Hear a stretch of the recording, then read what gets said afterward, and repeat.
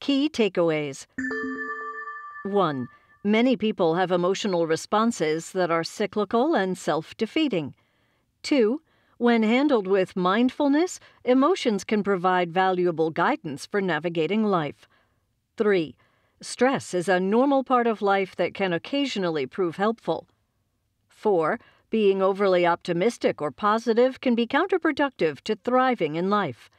5. To become emotionally agile, people should be willing to examine their emotions and articulate them with precise language. 6. Creating distance from emotions allows people to gain better perspective on their situations. 7. People should examine their values to make decisions that accord with those values. 8.